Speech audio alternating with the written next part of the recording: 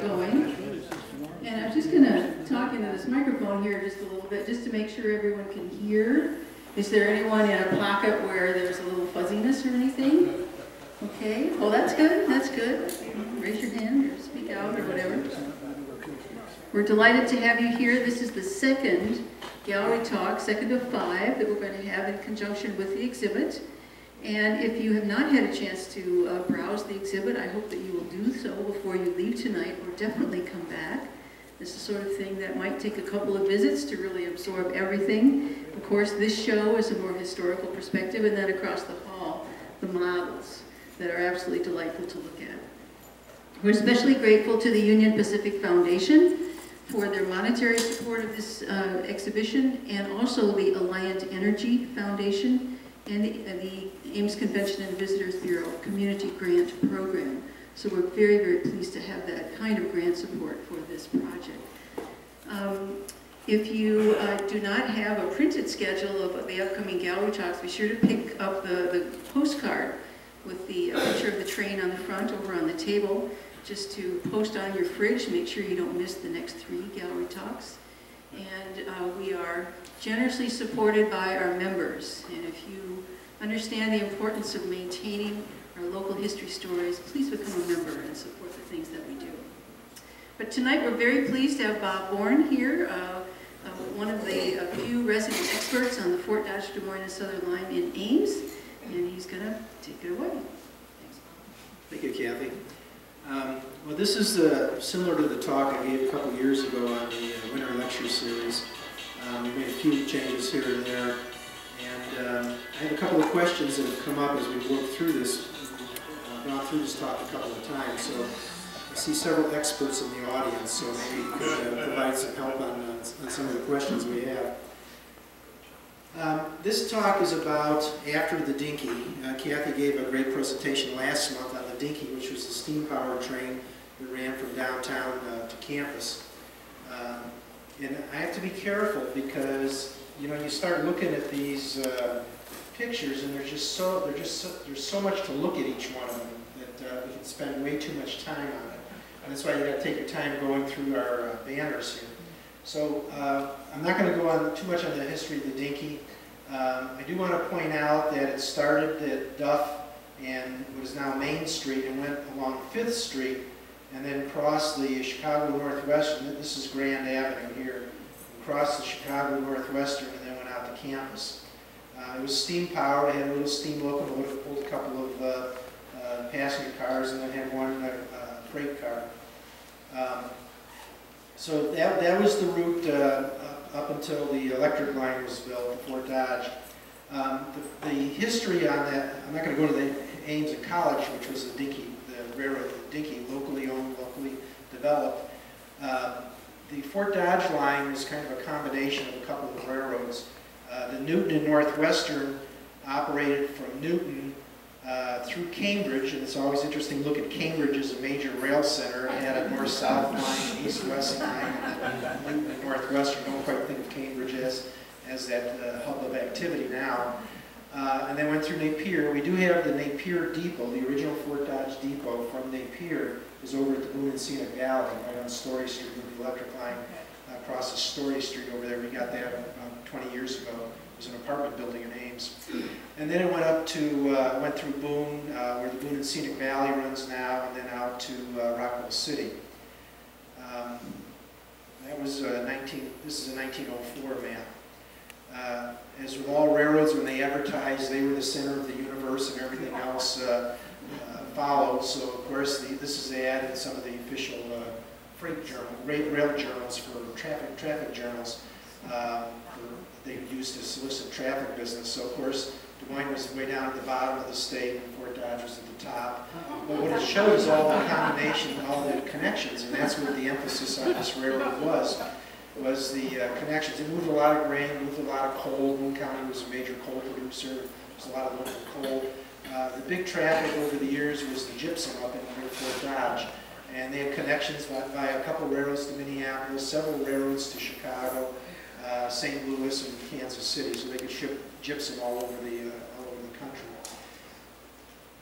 So the history in Ames, uh, And I'm just a little digression, that these panels we have here really are Ames focused. It's about the railroad in Ames. And we spent a lot of time going through our resources. We have an Ames Historical and the, uh, also the Ames uh, Tribune uh, history. So we have a lot of pictures of, of, of different locations in Ames and different events that happened in the railroad. Uh, the Ames and College Railroad was 1891 to 1907. That was the locally owned uh, railroad. The Newton and Northwestern that I just showed you started in 1898 to 1912. Now, the original part of that was the Boone Valley, Boone Valley Coal, which is now the Boone and Scenic Valley, and it actually had about three different names in a five-year period. Uh, at one time, it was the Marshalltown, Dakota, and Western, and the owners were going to extend it east to Marshalltown and then west to uh, North Dakota and eventually out to the west coast. So they dreamed big back then uh, when you were building a railroad. Uh, the Fort Dodge Des Moines and Southern uh, bought the Newton and Northwestern and eventually integrated it into their operations and it extended service into Ames in uh, 1906. Uh, this is Homer Loring. He was the uh, uh, one of the financiers of the Fort Dodge line. he was East Coast, he's from Boston. this is him on, on the, standing by the train there. And he's the one that kind of brought that East Coast money here to, to buy and build, the, buy the existing railroad and then build, uh, build the expansion. There's several stories about him. Uh, he had a, a, summer cabin or house in, uh, I forget it was either Spirit Lake or Storm Lake, and uh, they would run to Fort Dodge because he's the president. They'd run a train up to the Milwaukee Railroad connection, and if, the, if his train was late, they would hold the passenger train on the Milwaukee train so that he didn't have to wait for his connection. So I guess you do that when you're president of the railroad. Uh, Parley Sheldon, as everyone knows, uh, he was the perennial mayor of Ames, was elected several times over a 30-year period. Uh, he was the uh, one of the owners of the original Dinky, the Ames and College Railroad, and sold it to the Fort Dodge line. And uh, when the Fort Dodge line went bankrupt in 1910, he, he then became the receiver. Uh, stories that he used to run the steam engine back in his board banking top into the steam engine, run it back and forth the campus. Uh, I don't know if he did that with electric trains or not, but uh, he was certainly involved in the railroad. So this is the line coming into Ames. This is from 1908, uh, and uh, I guess I'll run outbound. Um, the route was on Fifth Street for the Dinky. Moved over to Main Street uh, for the, uh, when they electrified, still crossed the uh, northwestern there by Grand Avenue and used that existing right-of-way out to campus. And then from campus, they went on a kind of a southwesterly angle. Uh, we have a couple pictures coming up here to show you this. Uh, this is Welch Avenue here. And uh, so it was in the alley between Welch and Stanton. And you can, there's still a pole line there. You can see a few, few remnants of that. Then it went south, uh, straight south from campus, and uh, the Stevens farm was where the ice rink is now, the old ice rink and the new ice rink.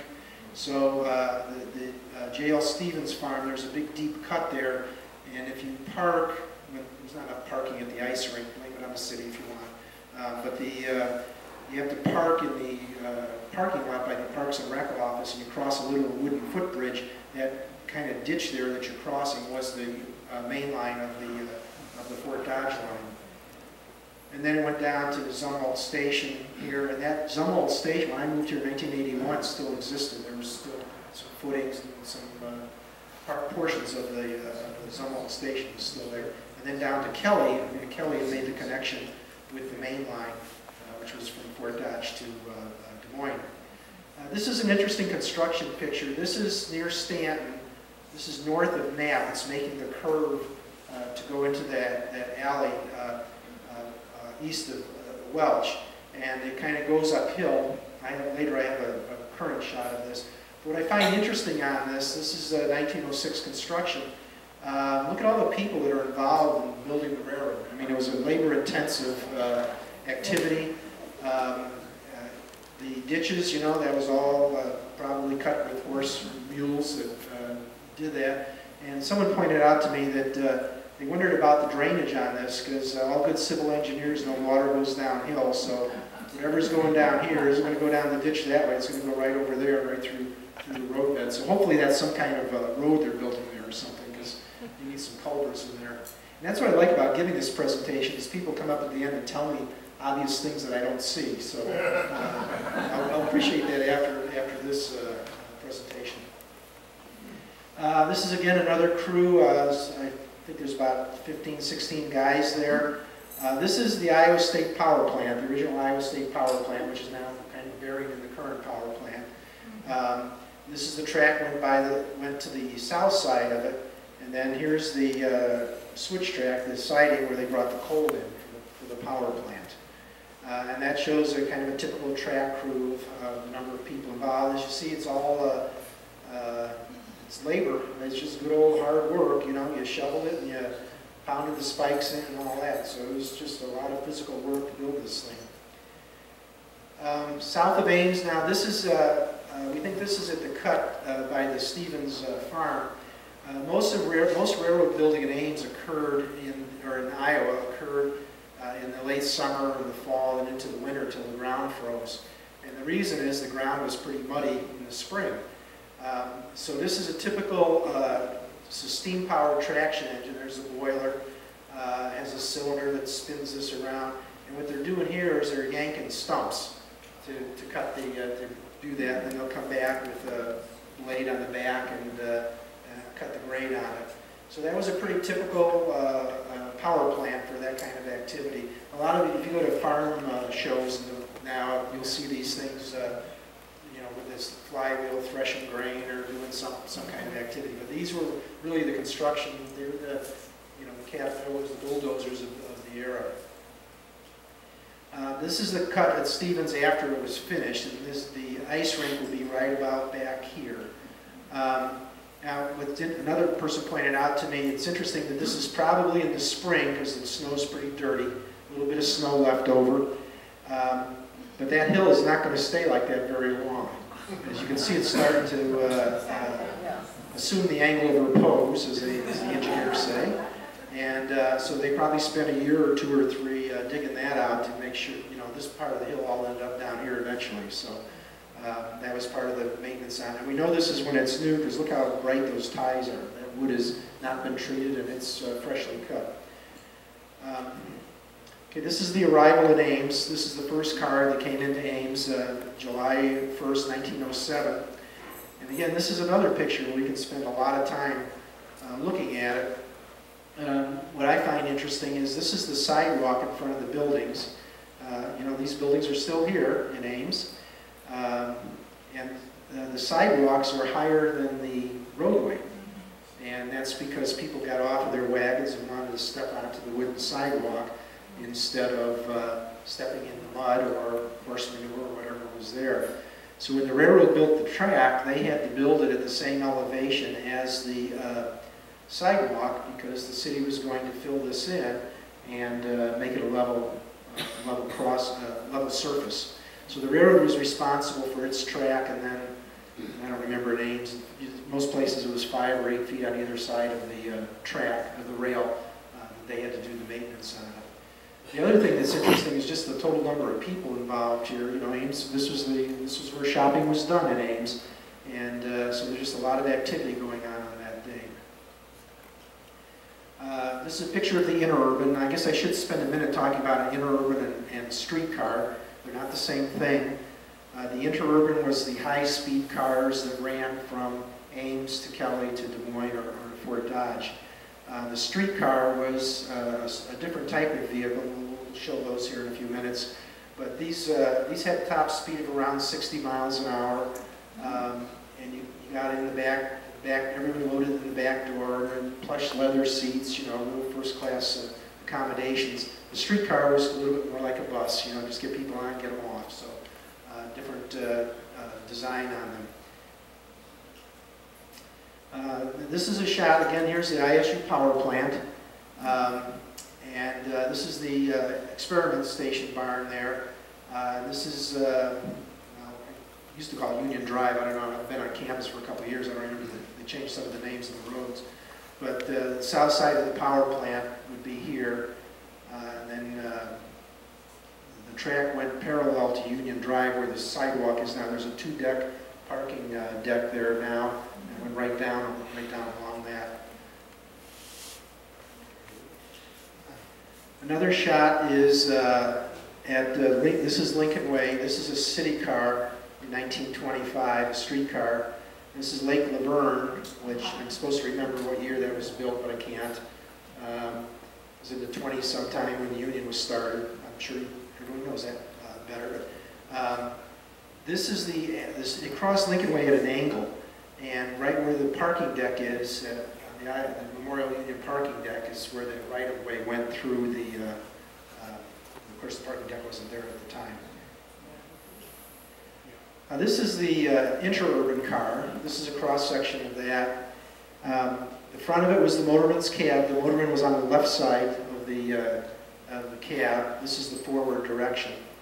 Uh, They could run in each direction, but they generally ran in a, uh, they had a forward and they had loops at the end to turn them around. If they had to, they could run backwards. Anytime a motorman had to run backwards, they paid him five cents an hour extra because he had to ring the bell and it didn't have an air-operated bell, so he had to pull the, pull the cord, so he got five cents an hour for that. I don't know if that was a union thing or what back then, but uh, anyway. uh, So the motorman had this cab here. Uh, This was the baggage area, and the reason the motorman's on the left is because you wanted, the- the passengers got on, on this side, so you unloaded your baggage here. So what kind of baggage did they carry? Well, there was a lot of express service, kind of the UPS of the day was the, uh, was the Fort Dodge Railroad. You could take your package down to the station, the trains were coming by about once an hour, and either get anywhere along the line up north or to the south and get on the next train. Um, They also had uh, box cars that they would put for heavier things, and every night a train would come, a freight train would come, pick up a box car at each station, take it to Boone, they'd sort it like, just like Federal Express does now in Memphis, resort everything and deliver them on a southbound train, so your, whatever your big item was, was delivered by the next day. Um, Often the motorman would work the uh, baggage portion. Sometimes they had a baggage man, depending on how busy it was, sometimes the conductor came and helped out on the baggage. And that changed over time. Uh, When they were real busy, they had baggage, and then towards the end, the uh, motorman did that uh, work. This is a uh, a- furnace, this heated the car. Um, uh, Probably, well, I think there was coal on some of them.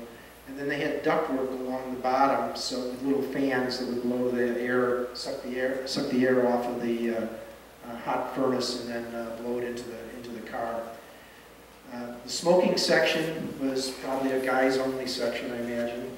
Um, This is where the businessmen, uh, salesmen, that kind of, uh, were the steady clients, um, uh, where they would be, where you could smoke. And then this is the, for the rest of the passengers. There was a no smoking area, a little toilet there. And then the conductor was in the back. So uh, you boarded in the back, sat where you wanted to be, the conductor collected your fare, and you rode up, moved down to where you were going. Uh, These were nice riding cars. Uh, Some of the cars similar to this are in a lot of museums. Uh, One out in California, Perris has a couple cars like this. Uh, Several in Pennsylvania, Illinois Railway Museum outside of Chicago has these kind of cars. And they get them up to about 40 miles an hour, so you can see what a, what a really nice ride was uh, on those cars. Now we're going to spend a few minutes on downtown. Uh, We have a great N-gauge, which is a 1 to 160 scale model over in the other room, and I encourage everyone to spend some time there. The uh, Kate Shelley Model Railroad Club, a couple are here, uh, really did a great job on that, uh, showing the buildings in Ames and the track layouts, and they're really authentic on the track layout. We were fortunate that the uh, Chicago Northwestern Historical Society had uh, a blueprint of Ames from 1900 to 1938 with every piece of track and every business in Ames during that time period. So whenever a building was added, they added it to the blueprint. If something was deleted, they uh, took it off of the blueprint. And uh, so they have all the additions and all the deletions. So we have a, a spectacular history of Ames from, uh, from that time period. Um, what I want to show you here, just quickly, and I don't want to get off track on the Chicago Northwestern, but this was a railroad yard uh, where they did all their switching. So they had their mainline trains coming on the east-west. But they had a line from Des Moines that came up, and then they had a line that went up to Jewell and up to Eagle Grove, and eventually out to Huron, uh, South Dakota. Uh, and uh, so there was a lot of activity, switch engines, moving cars back and forth. At one time, there was a roundhouse with a turntable here uh, until 1902. It was taken out in 1902 and just made a two-track shed for the steam locomotives that were uh, stationed here in Ames. Uh, this track over here is the Fort Dodge line. Remember, they came up through campus, and up until 1915, from 1907 to 1915, the interurban used the same used the same track from campus, but then used the same track in town, uh, and terminated. There was a track that went north on Duff for one block, and then where Bandshell Park is now, there was a hotel, and then it terminated in front of the hotel there. And that was the interurban uh, terminal. And we also think that the interurban sold tickets uh, right here at uh, Douglas and Main Street, because there are several pictures of, of people getting on there. You know, anyone who could do some research on that, we'd appreciate that, but that's our working theory on that. Anyway, this proved to be a problem, as I'll show you in a minute, crossing the, the main line. For the streetcar to cross the main line of the Northwestern, uh, and, and the Northwestern didn't have anywhere near the traffic they have now. They had, uh, uh, well, their peak passenger trains, they got up to about, uh, I think it was 12 or 13 each way, but they didn't run as many freight trains as they run now. The volume wasn't as great, there was a lot more competition. Uh, but they did have a lot of switching activity. The switch engine would grab onto some cars and back and forth and back and forth. And the uh, uh, tower that controlled the crossing was owned by the Northwestern, had a Northwestern employee. So if two trains were approaching at the same time, the Northwestern would always have the priority to get their work done. So what the Fort Dodge line had here was a passing sighting. There were two streetcars going back and forth, and they had to meet somewhere. Well, the center between downtown and campus isn't right here near downtown. The center, distance-wise, is over kind of near where the CyRide Garage is or someone over or by University Avenue there. So what they had here was a passing track, so if the outbound streetcar didn't, wasn't blocked and could get across the crossing quick, he'd pull into here and wait for the inbound streetcar, and they always met here. If he got delayed and the inbound streetcar into downtown got there first, he'd sit here and wait until this guy could get across, and do the crossing. So I think the, the reliability of the service probably was not, not that good. Uh, but it's interesting how they compensated for that. Um, we also have uh, the, after 1915, uh, the, the Fort Dodge line built a new depot for the interurban, and they were developing their re regular railroad carload freight, which a lot of the electric railroads did not do, but the Fort Dodge and several of the Iowa railroads really developed the freight business, which made a lot more money than the passenger business and proved to really uh, uh, be pretty uh, uh, astute uh, business uh, strategy. So right now, where Greater Iowa Credit Union is, uh, was the terminal, the terminal, and that the uh, interurban cars would come in, they'd make the loop and wait there, and then the freight trains would come in, and there was a little yard where they could uh, switch. Also, one of the other maps, uh, General Filter was over here near uh, Oak and uh, North Second, and at one time there was a track going this way, a track going this way, and you know everything went by train, nothing went by truck, so everything, everybody had a, had a delivery uh, uh, point. Um, okay, so what happens when uh, someone isn't paying attention? Okay, this is what happens. Uh, this was right away in 1907, right after the service started. This was in November of 1907. And uh, this tower is called an interlocking tower. And the name interlocking tower means it's designed so that when the guy working the tower says, you have a green signal, like for the Northwestern, automatically the other railroad, the Fort Dodge, has a red signal. Or if he gives the Fort Dodge a green signal, all these little levers and stuff go make a bunch of noise and give them a red signal. Unfortunately, that hadn't been completed by the time the railroad was completed. So uh, what happened is that uh, it was a manual signal, and the guy in the interlocking tower was supposed to stop the Fort Dodge cars from crossing when the Northwestern had the green signal. And uh, on this day, he didn't do it. And uh, so the, this car was hit by a, a Northwestern uh, train, knocked over on its side. 44, there were 44 people on, on it, or 44 people were injured. I don't know how many, probably everybody on it was injured. Um, and, but no one was killed, so it was probably a relatively slow speed uh, uh, collision. Uh, and then we don't know the number of the car, we can't make that out, but uh, we don't think it was rebuilt. So uh, somewhere in the archives of somewhere, we would know what, uh, what that car number was. Um, and of course, you see all the people standing around looking. You'd never have that in a railroad wreck now. You, uh, you wouldn't let people get that close to it. Now, this is the Fort Dodge uh, Depot, right there where Greater Iowa Credit Union is. And the Kate Shelley guys have done a great job on uh, uh, making a, a pretty good rep, uh, model of that in, in N scale. Um, this was the passenger waiting station after 1915, and uh, then there was a freight loading platform uh, with a roof over it, so you could unload freight there and come and, uh, you know, then be taken to the final destination by truck or uh, by that by 1915 everything was truck. Yeah, some of those old those old pictures of the dinky show horse-drawn wagons, but I would imagine those were gone by 15. Uh, this is what uh, this is where I can really get delayed, and so I'm not going to spend too much time on it. But any of you guys like schedules, I would love to spend some time with schedules. This is the uh, December 30th, 1907 schedule.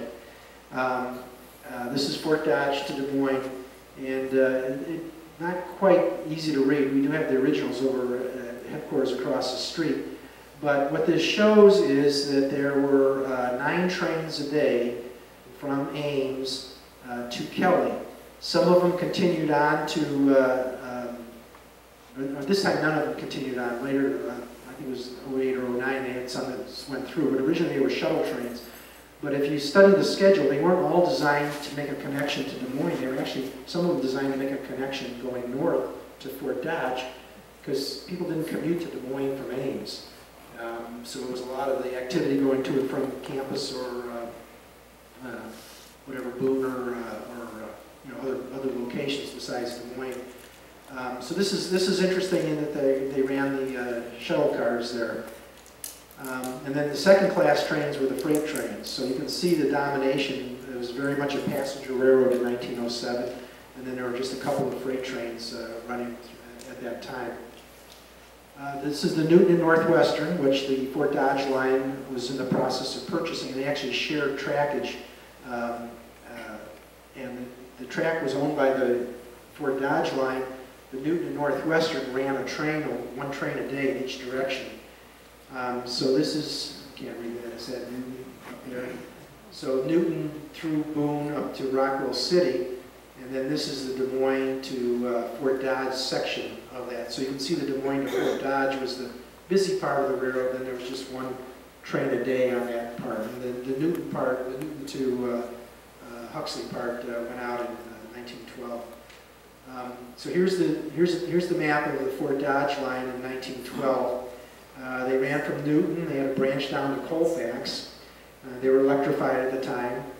The Interurban Railroad, IU, uh, later became the Des Moines and Central Iowa. That ran from Colfax to Des Moines and then up to uh, Woodward and out to Perry. And that was an electric railroad also with the high-speed passenger trains on it.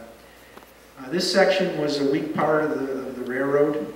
Uh, it was abandoned in, right after 1912, and this became the strongest part of the railroad, the Des Moines to Kelly to Ames, and then up to Boone, and then up to Fort Dodge. Uh, and most of the passenger traffic was in this portion of the railroad, because of course that's where the greatest population was, yeah, and the most uh, travel uh, activity. Uh, this is the November 3rd, 1912 schedule. Uh, this shows Fort Dodge to Des Moines, uh, 86 miles. It took about, what, three and a half hours. They had an express train that did it in about three hours. In 1912, if you could average 30 miles an hour, you were going pretty darn fast. That was pretty high speed. And to average 30 miles an hour, you had to go 60 miles an hour because of all the stops on the route. Um, so there were uh, eight or nine trains a day between Fort Dodge and Des Moines.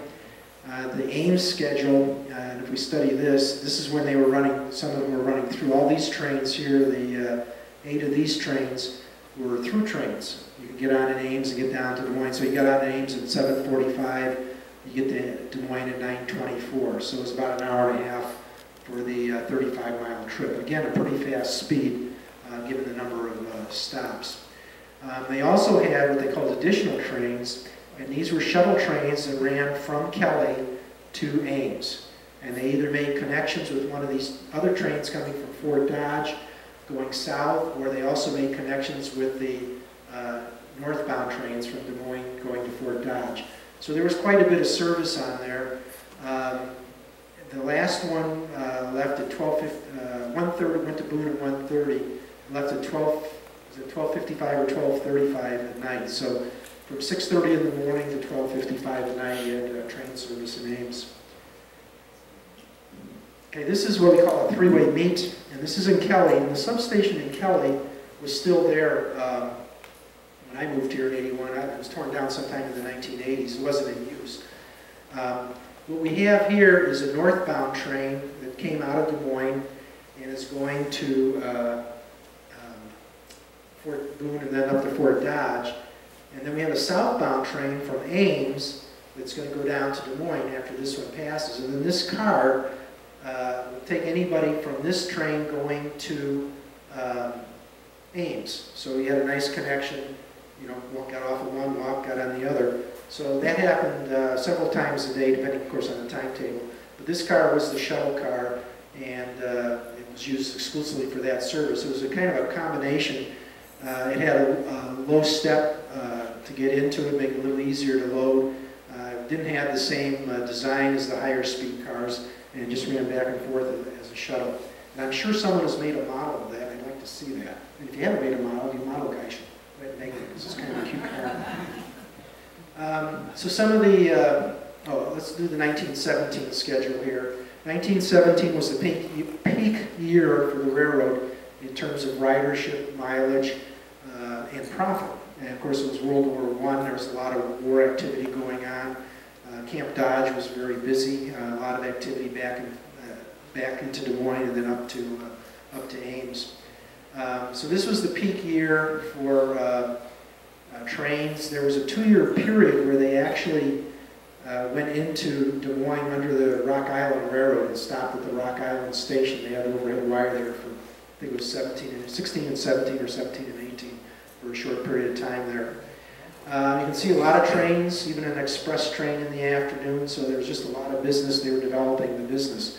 Uh, paved highways were not very common, and that's really what finished off the railroads was uh, pavement. Um, this is an example. We have uh, several uh, uh, artifacts from, from the railroad. This is a typical conductor's ticket. If you bought your, bought your ticket on the train from the conductor, uh, he, and they were always he back then, would uh, uh, give you, he would punch your origin. This one was Sailor Road going to Des Moines. he put the date. This was June 8th, 1909 and uh, the fare was 15 cents. So he'd punched that, you'd get a copy, he'd keep a copy, and then he'd have to turn in all his copies, and then the clerk would add them all up, and he'd have to turn in the amount of money that he punched. Um, so how do you beat that? You know, transportation people are always trying to think how you can beat something, so you wouldn't collect fare, or, you, or you'd have it, you, the auditor would know it had to be 15 cents from here to here, so the only way you, you couldn't short the customer because the customer had the receipt you'd have to try and trick, trick the company. I'm sure someone was able to do it at some time, but they had a lot of auditors because they had to make a profit back then, so they really had to worry about that. Uh, a couple of items here, a couple of other items from our collection. This is if you bought a ticket at the station from the station agent. This one is Kelley to Ames. You go in, you pay your fare, which probably was 20 cents or whatever it was back then, and the, the uh, agent would give you this ticket, and then on the back he would stamp the date on it, and then the conductor would punch holes in it so it couldn't be used a second time. Uh, this is another one from uh, Des Moines to Ames, another ticket, the same, same principle as, as that uh, ticket. Now this one says return coupon on it, so they often had a, and we don't have, I don't have the fare structure, sure someone does, but I don't have the fare structure. A lot of times there was a discount for a round trip. It wasn't two times one fare, there was a, some sort of a discount on on um, the item that I find really interesting is this thing called the Red Book. And I had this in my collection, and this is from New York State. And these were published, uh, uh, I remember the date on this, but it was in uh, 1908. From roughly 1900 to about 1920. Uh, this was a guide that uh, had hotels in it. It was aimed at traveling salesmen. And uh, it would have all the electric railroad schedules and then often some of the freight, passenger or steam railroad schedules also. So if you were a businessman and you got stuck in some town for whatever reason, uh, you could figure out how, what your alternative routes are. A lot of times there were two ways to get between two cities. There's a lot of railroad competition. Uh, you also uh, would have information about hotels. It's kind of like, you know, you get stuck at O'Hare, they, they go to that hotel for $200, or you can sleep on the cot, you know. Well, this was the, was the version of that. Uh, they did these, there are several of these that are regional. I've heard about these in the Midwest. Uh, they're probably an Iowa version of it. I know there's an Illinois version of it. So in your travels, if you ever run across the People's Railway Guide and it says Iowa on it, just go ahead and buy it and bring it over to the office and we will reimburse you for it because it's really, really rare. I've never seen it on eBay, haven't seen it in any of the collections, but I know it does exist. So uh, we're really interested in, in uh, acquiring one of those. So what happened to the interurban? Uh, the interurban is uh, disappeared because of paved highways, is what it amounted to in buses. And I could do a, I could probably do a whole talk on buses, huh? Names, uh, horse I ride. I could probably do something like that. That's a good idea.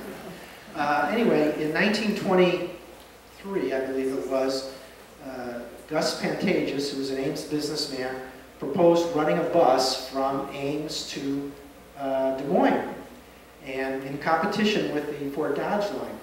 And uh, we have Interstate or Iowa Commerce Commission uh, uh, testimony where the president of the Fort Dodge line said that buses are dangerous, they're a health hazard, you know, they're unsafe, the roads aren't safe, they're the worst thing in the world, you take your life in your hands, and there should never be a bus service between Ames and Des Moines because we have this wonderful railroad. Um, the next year, okay, so Pantages didn't get the certificate to, to do that, but he started a bus from Ames to Marshalltown uh, and ran back and forth from Ames to Marshalltown. He got a certificate on that. Um, the next year, 1924, uh, the president of the Fort Dodge line went in front of the Commerce Commission, and the road had been paved to, to Des Moines, and said, buses are the greatest thing in the world, they're cost effective, they're efficient safe. He did a complete 180 degree turn on his statement from from the year before. And then the Fort Dodge line secured a certificate to operate because the certificate had value at that point. They actually would sell them between different businesses. And that protected them from other bus competition. Uh, so this was the original schedule. Uh, to Ames. Now, uh, they were still running interurban cars at the time. We're not quite sure um, what the uh, schedule was, and we don't know when the interurban ended. We have, so what we're really looking for is 1927, 1928 schedules. We know it was out in 1929, but we don't know if it was 25, 26. It was when the, the buses ran a long time with the interurban or not. So we're, we're not aware exactly on that. So uh, if you find some Fort Dodge schedules, we'd really be interested in that. They also ran Fort Dodge to Des Moines, uh, Webster City, and they ran Fort Dodge to Algona. And uh, there's a whole interesting development of uh, bus lines at that time. Some of them buy the railroads so to crowd out the competition, and some of them in competition with the railroads. Uh, this is a picture, I got to pick up the speed, huh? Okay. uh, this is a picture of the typical bus, and uh, it's called the Wild Rose route. That was part of the branding.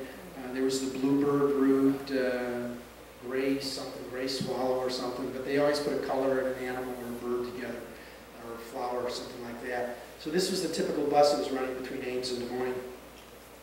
Uh, the power plant, where did they get the electricity? Uh, well, the electricity for the streetcar in Ames came out of the Ames power plant, 750 volts DC. Uh, the power for the uh, uh, rest of the railroad was 1200 volt DC. It was all generated in Fraser, which is of course all gone now. And there was a low-head dam there, and you can still see the remnants when you ride the Boone and Scenic Valley when the leaves are off the trees of uh, low-head dam that generated power, and then they had, of course, the coal plant when, the, when there wasn't enough water to uh, produce enough electricity. Um, okay, we're going to move quickly. This is the, the uh, Dinky uh, Terminal, which is now the hub on campus. Okay, we'll talk a little bit about streetcars. Streetcars, as I said, were different.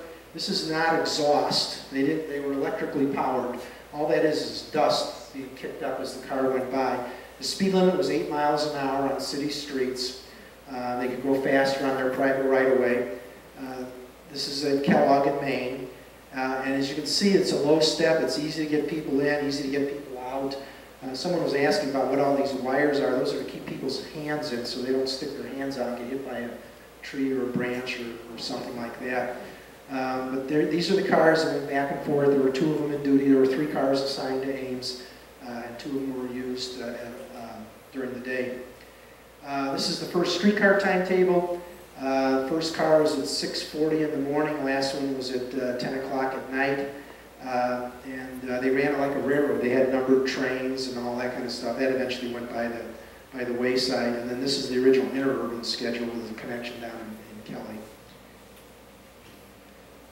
Nice picture here of IS, Iowa State College, horse barns, heading to downtown. We blew that one up today, we were looking at it, and uh, this car hit something, because it's all dented in the front there. There's supposed to be a little device, if the, if the uh, pole goes off the wire, it's supposed to pull the pole down so it doesn't take down the wire while it's gone. So something happened, and uh, maintenance may not have been uh, real good at the end there.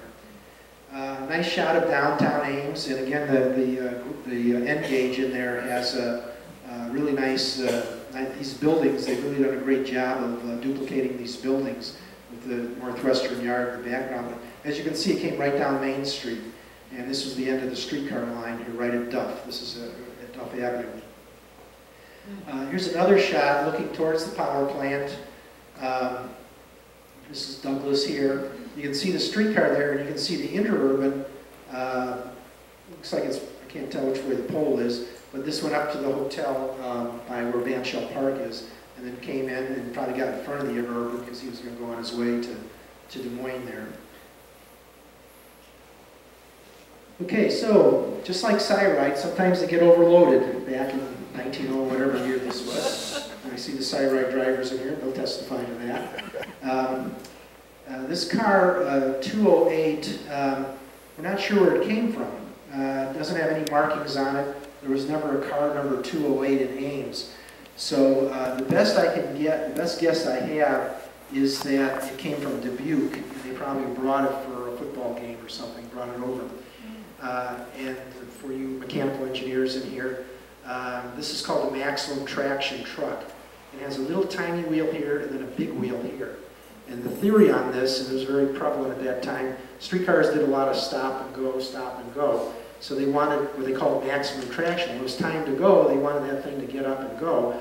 So they thought that by having a motor on each axle, that they would get more power out of the uh, smaller wheel because it would turn, make more revolutions, have, in theory, more torque. Um, I have a picture of car 210 from Dubuque, but these wheels are reversed. The small wheel is here and the large wheel is here. So I don't know the theory on that or what they were doing, but uh, anyway, they had these maximum traction trucks, which proved, uh, and Iowa State College did a lot of railroad research. Uh, uh, Purdue and uh, uh, Illinois at Champaign did a lot of railroad research, and at some point in the 1910s, they proved that this didn't mean anything. It was a nice theory, but in reality, it didn't work. Didn't, didn't, there was no, no, nothing detrimental, but there was no advantage to it either. So there's some kind of event going on here. We can't figure out the location either. We're really stumped on that.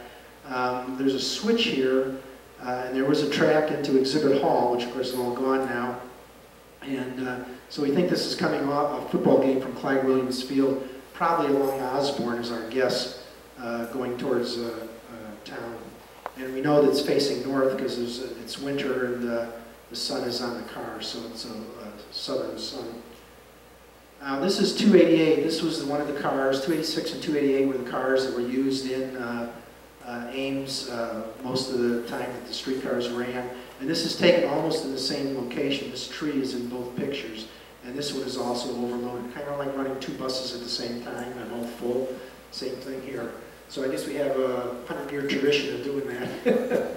um, and uh, this was a 40-foot car, um, kind of short for the amount of uh, business that they had on these busy days. Uh, and we don't know the location, so anyone can help us on that, we'd appreciate that. Uh, this is the bridge across uh, Squaw Creek. Uh, this is the northwestern bridge. This is the interurban bridge, which just disappeared a couple years ago. the Union Pacific tried to give it to the city, and the city said, well, you can give that to us, but they give us $200,000. Union Pacific said, well, we'll just scrap it, which they did. Uh, But there was also a pedestrian bridge here, and this flood, which I believe was 1919, took out the pedestrian bridge.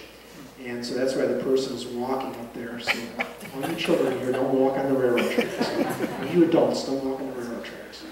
Um, But that shows the, uh, uh, the height of the water at that time and took out the pedestrian bridge. Uh, Here's 288. This is at uh, Westgate Station. You know, if you go out to Sheldon and West, there's those pillars there with the dates on them. Uh, That was the end of the, of the streetcar line up until 1916. And that's uh, State Gym in the background. And then there was a shelter. Um, So yeah, I'll show you a map here in a second.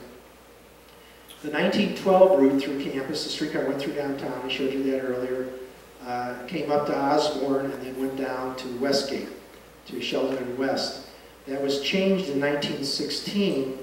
Uh, we don't know why, but uh, they put in a bypass. My guess is it probably just made it a little faster to go back and forth because you carry too many people, make too many stops, you get behind schedule. So this is one way to solve the problem is to uh, make the route a little more streamlined. Um, and then it also ended there. This might be that switch we were talking about on that other picture that went down to Exhibit Hall where they did the railroad research. And then, of course, we have the main line down to Kelley, and then this is that track where those guys, were the track workers were standing, the one that delivered the coal to the power. And we have maps from various years on campus, and there were different little spurs here and there. Most construction materials were brought in by train. So they would put a track down and put a switch in and put some overhead wires and uh, build a building. Uh, all the materials being bought, brought in by train, and then when they were done, they ripped the track up and ripped the, ripped the wire out.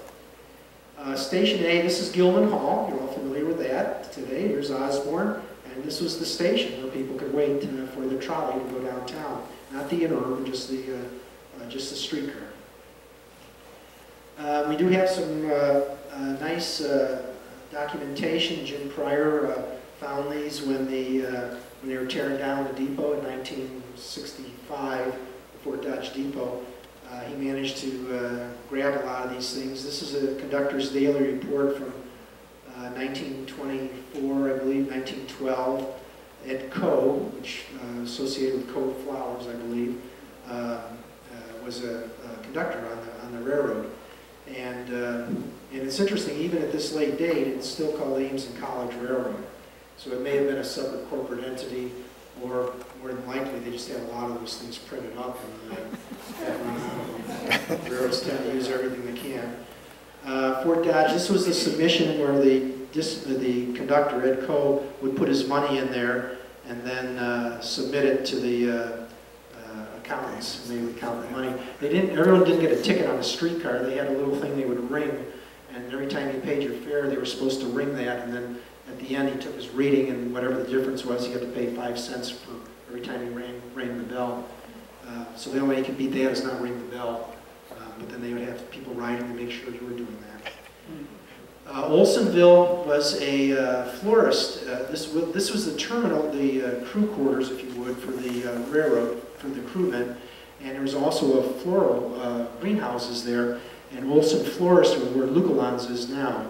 And so they grew the flowers back in the old days when Iowa would grow things other than corn and beans. They grew flowers here and then sold them at the, at the florist in downtown, in downtown Ames. So that's the, probably entire crew shot there guys working on, the- on the railroad at the time. Um, Here's the schedule for 1914, about every 20 minutes or so, kind of like what CyRide does now between downtown and campus. So only uh, 99 years, 98 years later, running the same schedule. Uh, uh, But, uh, and then it- and they went in the evening, uh, they- they don't have an end time, they just say, we run late. So probably they ran until people stopped riding, and that's when the, train- that's when the line ended. So got everybody home, kind of like uh, CyRide's uh, Moonlight Express, I believe. Um, And then the Sunday schedule was a little different, and then they had cars to the south side, and we think that means it went down the main line, down, uh, down by Welch Avenue, down there by the towers. Probably church-related is our guess on that, to get people from that area to and from churches, because most of the churches were in downtown. And there were a couple in Campus but mostly in downtown. Uh, Back to this, which I'm not going to spend too much time on that. So we will talk about 1916. In 1916, the campus loop was built. And I showed you how up to 1916, the cars, streetcars ended, ended here. Uh, I believe Clyde Williams Field was built about that time. So the railroad had this track in, so what they built is in Knapp and up Sheldon, up to uh, West Street. They built this section in 1916. And then they ran uh, the cars, they, they changed the direction every other trip. So one trip would come out like this and go around campus this way, and then the next trip would come out this way and go back that way. And uh, Farwell has several, Farwell Brown has several stories about that, uh, you know, greasing the rails and things like that that uh, he used to do as a kid. Um, or no, he, was, he would say, I didn't do it as a kid, but I know others who did.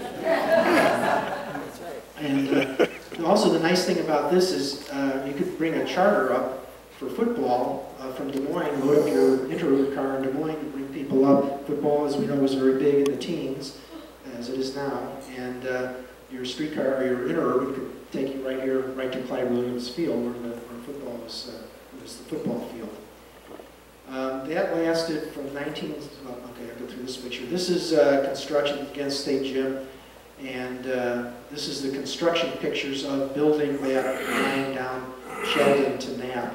You can see the conditions of the road, so uh, the railroads had a pretty good, uh, uh, pretty good market there because it was pretty hard to get around, especially in the spring. Uh, this, the bleachers at Clyde Williams, and uh, the track was right there, and bring people right here and right into the right into the stadium. Ultimate, ultimate parking experience, right? And I don't know if you had to be a donor to get a good spot or not. I'm not sure how they did that back then. Uh, Station B was near Curtiss, and this again was the line that went from Ames uh, the diagonal uh, through, through Campus Town. And this was the station here. The st city streetcar would stop here, and the interurbans would also stop here. So this was a primary campus stop if you were going to uh, to Des Moines or go to Kelley, uh, go north. Whoops, I went over there too quick. Okay, I just like this picture. Um, for a lot of reasons. It just shows the activity in Ames. Here's the streetcar arriving, people getting off. And again, look at all the activity there. I mean, we could spend a half hour just looking at what's going on in this picture. But, you know, Ames is where people went to shop. Uh, you know, it's just a busy, busy place. Uh, and there was a lot of pedestrian traffic because people didn't have cars, so they come in by, by the streetcar. And, uh, or a lot of people walked, uh, you know, that lived close by. Um, okay, now I'm going to go into the, uh, uh, some of the uh, facilities. Uh, this building was the streetcar barn where the streetcars were, stole, were stored overnight. Uh, it's identified on one of the maps we have. Um, and you know, this is the Fort Dodge, the loop with the, with the terminal, but this was the streetcar barn where the streetcars were stored. In 1920, I can't remember now, 22 or 23, when Davidson was being built, uh,